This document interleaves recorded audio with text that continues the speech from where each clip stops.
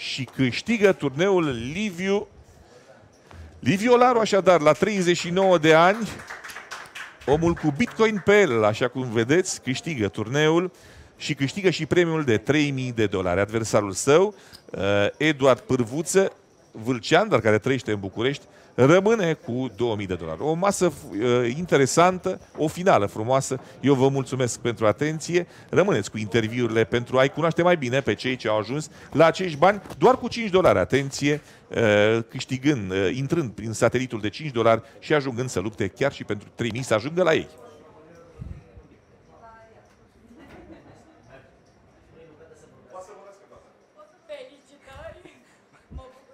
Fiu prima persoană care oficial îți spune bravo.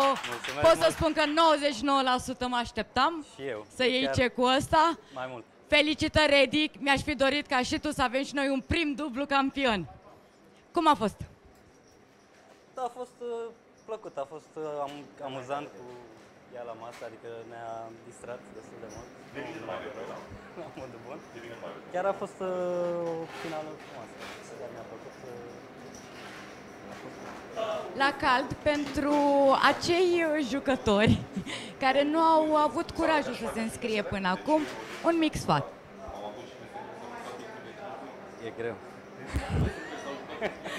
nu, Doamnelor e și greu domnilor, pentru că- Bogdan. E greu pentru că e intrare mică, e un bani foarte mic și aveți șansa să câștigați 3000 de dolari. Felicitări! Mulțumesc mult. Nu uitați, în fiecare vineri pe 888poker.ro cu doar 5 dolari puteți să veniți să ne luați cecul de 3000 de- de dolari. Și asta nu este tot, vă așteptăm alături de noi, alături de 888 și de Pokerfest, la campionatul național în Iași. Astăzi este main eventul ziua 1, urmează ziua 2, finala premiera. După care ne mutăm în Cluj, Timișoara, București, mare și foarte multe surprize. Haideți pe Pokerfest, haideți la 888, haideți la campionatul național de poker. Mulțumesc și felicitări! Mulțumesc mult de tot.